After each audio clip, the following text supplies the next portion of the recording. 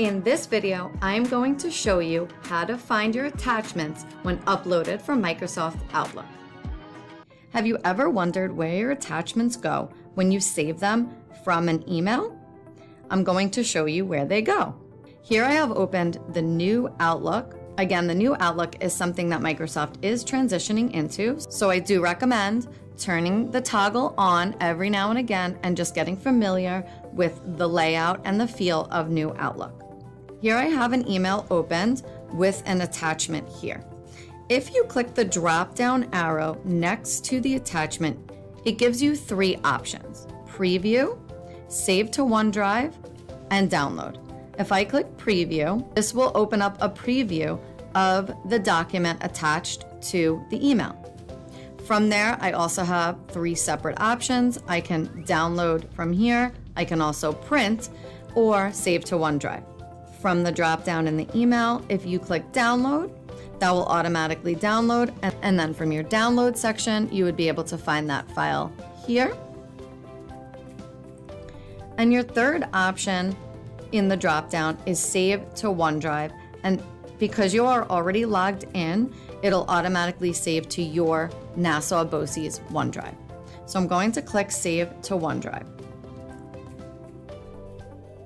Now the question is, where does it go when it's saved to OneDrive? So let's go into our OneDrive and find the attachment. I have open here my OneDrive on the Microsoft 365 web version, and I'm going to click My Files on the left-hand side. Here you are going to see all of your files and folders saved into your OneDrive. In order to find any attachment that you saved to your OneDrive, from Microsoft Outlook, you must click into the folder titled Attachments, which Microsoft automatically creates for you. So I'm going to click into that folder now.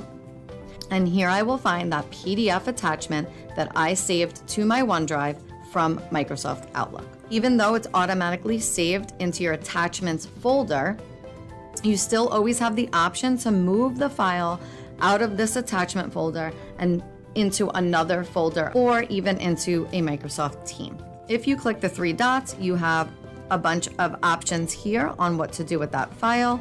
You can easily share, copy the link, manage access if you need to share with others.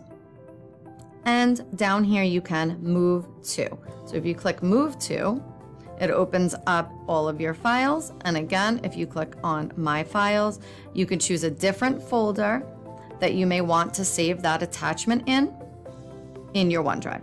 You also have the option to create a new folder here. Title it, and then move that file into that specific folder. I'm going to show you the options in the drop-down menu in the classic Microsoft Outlook desktop application as well, because the options do look a little bit different. I now have opened the classic version of the Microsoft Outlook desktop application. Your options are a little bit different here. You have the option to preview, open in different locations, quick print, save as, save all attachments, and upload. So again, if you go to upload and then click on your OneDrive, here's where you would again find the attachment uploaded in your OneDrive under the attachment folder. You also have the ability to remove the attachment from the email and copy the attachment from the email right here. In the classic version of Outlook, if you click Save As, it will open your File Explorer. So you do have the ability to choose which location you want to have that attachment saved.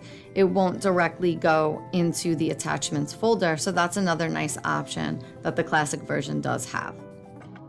Now you know how to find your attachments when uploaded from Microsoft Outlook. Stay tuned for next week's what the tech tip. See you then.